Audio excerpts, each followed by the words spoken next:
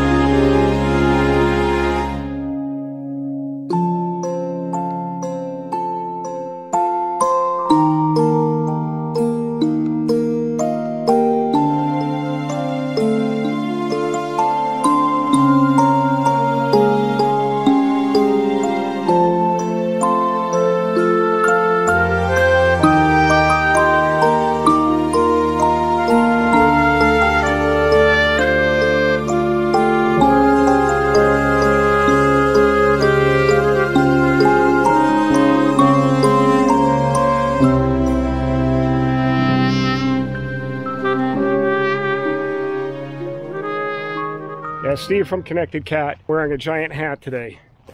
Okay, the reason why is because this Florida sun's incredible and uh, my cell phone is my controls for the uh, DJI Mavic Air. It's part of the controls anyway. Sun washes out the screen real easily down here.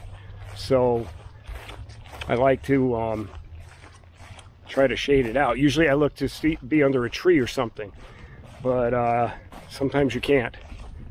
So I got a giant hat. okay.